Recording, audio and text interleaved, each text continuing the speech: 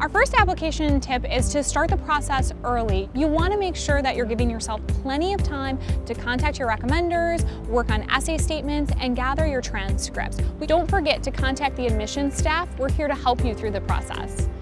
Take the application process one step at a time. It's very easy to get overwhelmed by the things that you want to submit and work on, but focus on one item at a time. We have an admissions blog where our admissions teams will share their tips on working through the process, but also our UChicago graduate students will share application tips from their own perspective. This blog covers tips from how to ask for a letter of recommendation to things to think about when you're working on your essay, so make sure to check out the blog tell your story.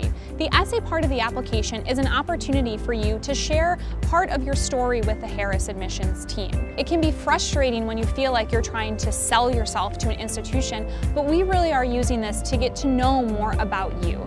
Don't let just a few paragraphs stand in the way of pursuing your dreams. Just as important for you to get to know us as it is for us to get to know you. When classes are in session, we have campus visits. You can hear from CDO, sit in on a class, and learn more about Harris. We have events around the world. From Boston to Beijing, you have an opportunity to get to know more about Harris by attending one of these events. So make sure to be checking our website for updates on those events.